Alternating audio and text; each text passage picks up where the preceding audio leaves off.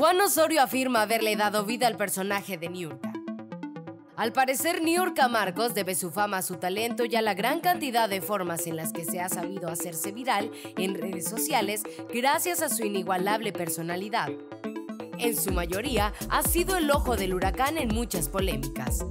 Algunas de estas son ocasionadas por ella misma debido a su personalidad tan explosiva, extrovertida y sin miedo al que dirán, diciéndose llamar la mujer escándalo. Después de que su expareja Juan Osorio diera a conocer la verdadera razón de su personalidad, estas características iniguales podrían caer, pues el productor de televisión dijera públicamente que él fue quien le dio vida a ese personaje.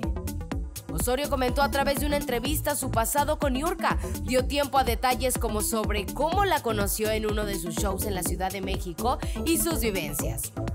El reconocido productor mexicano afirmó que la cubana que hoy en día conocemos no se parece en nada a la de antes, luego de decir que entre los dos crearon ese personaje artístico que se ha vuelto bastante viral por su peculiaridad, logrando así el cariño de muchos y hasta el odio de otros. Sus declaraciones indican que fue en 1988 cuando la pareja se conoció exactamente en la Ciudad de México, después de que la bailarina llegara de Mérida para poder triunfar lo que hizo que el productor encontrara potencial en ella y le ayudara con su carrera artística.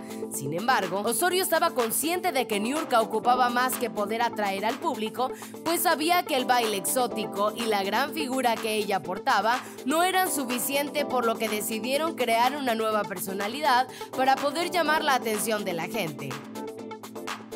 Asimismo hizo referencia a que él solo trabajó su personalidad y que nunca le pidió que mostrara más, siendo ella quien decidió hacerlo así.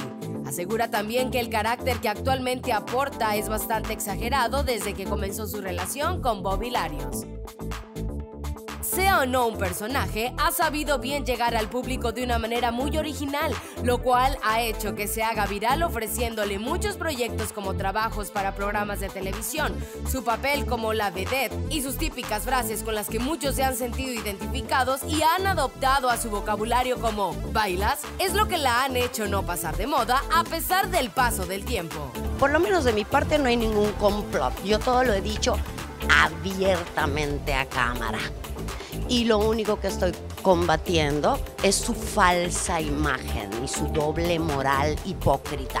Y eso no es complot. Complot es cuando están haciendo algo por detrás de ti. Yo te lo he dicho todo en tu cara. Así que yo, si yo encabezo la lista, perdóname, tienes que hacer una lista aparte donde diga las que dicen las cosas en la cara. Ni nada más.